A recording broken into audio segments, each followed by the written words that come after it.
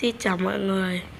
Đây là sinh nhật mèo vàng đã trong không một tuổi Cũng như là sinh nhật luôn mình. Đấy, cho Đức Hiếu là Đức Hiêu mọi người.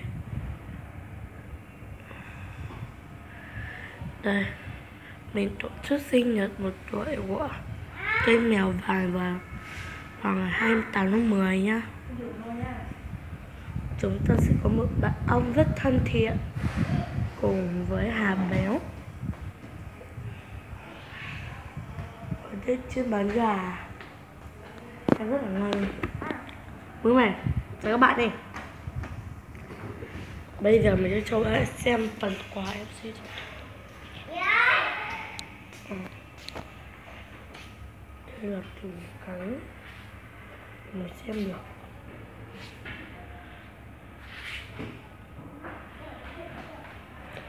bác ơi đạp tiền sinh nhật thái bình luôn.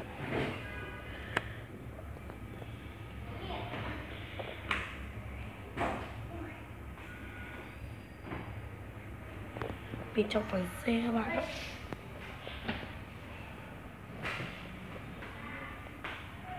Mình tặng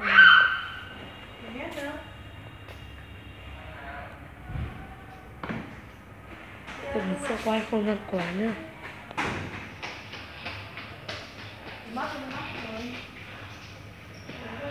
đây là không gian quán. Ở ngoài thì là ở ngoài quán nhá một tối. Bây giờ là 7 giờ. Chúng ta sẽ chuẩn bị xem ảnh nhá.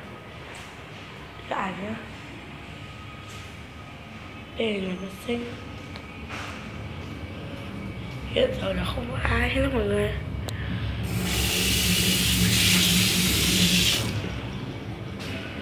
Đây là phòng vệ sinh như này.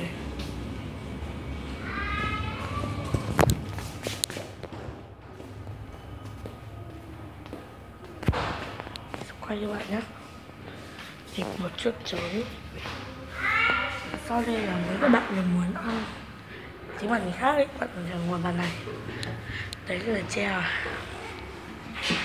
một treo rồi